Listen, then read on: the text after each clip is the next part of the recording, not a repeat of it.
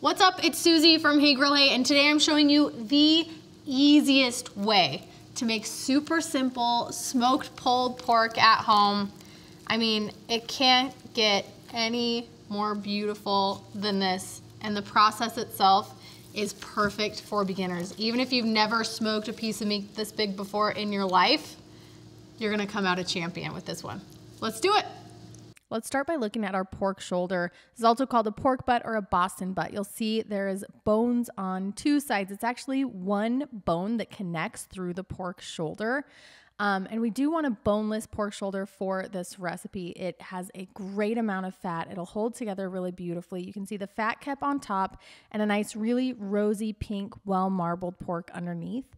We're gonna wipe this down with a paper towel. It will remove any bone fragments from processing and allow us to get our seasoning on. We're gonna start by slathering on my Zesty Gold sauce. You can also use plain yellow mustard or you can skip the slather entirely. It's just another layer of flavor.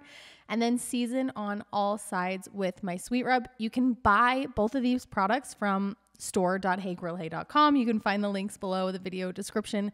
I thank you in advance for your support. Or if you like to do things homemade, I have the recipes for you on the website.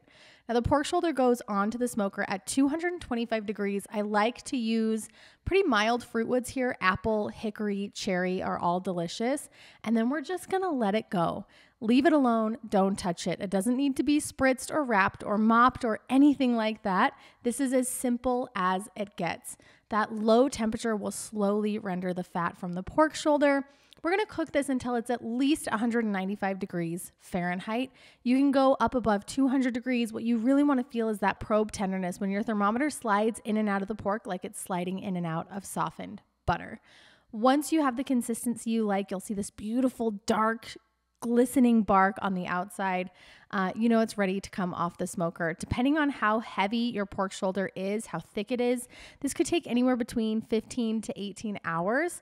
Um, I like to plan about 90 minutes per pound at 225 degrees. You can shorten the cook time.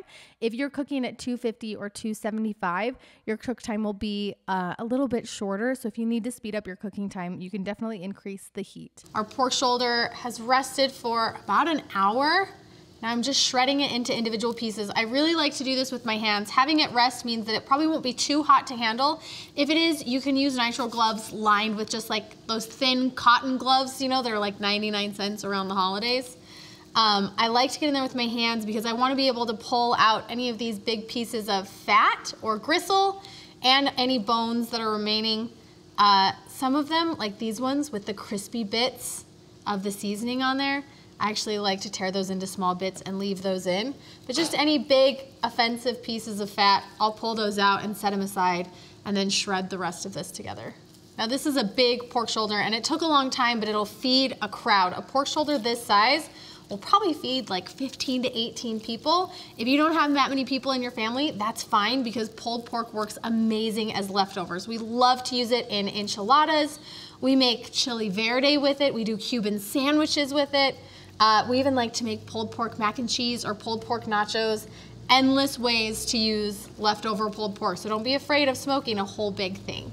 My favorite part about this particular method for cooking pulled pork is this bark on the outside. It's so crispy, it's so crunchy. That fat has rendered all of the way down. So you just get these beautiful edges mixed into this super tender, juicy pulled pork that's something that you're just not gonna get from like a crock pot version of pulled pork because it's all gonna be soft. But doing it on your smoker gives you those gorgeous crispy edges. I'm gonna give you one final tip before I send you on your way to cook this in your very own backyard. Once you get this shredded, you wanna hit it with just a light dusting of the same seasoning you used on the outside. So for me, that's my sweet rub. Because a pork shoulder is so large, all of the seasoning ends up on the outside, and sometimes the inside can taste a little bland. If you've ever had bland or boring pulled pork, it's because all that seasoning was across the outside. Just a little dusting on the end will add a beautiful pop of color before you serve it, but it also ensures that the flavors that you want on there from the brown sugar and the salt and the pepper and the smoked paprika are all the way through your pulled pork. And you can serve this on buns with your favorite barbecue sauce.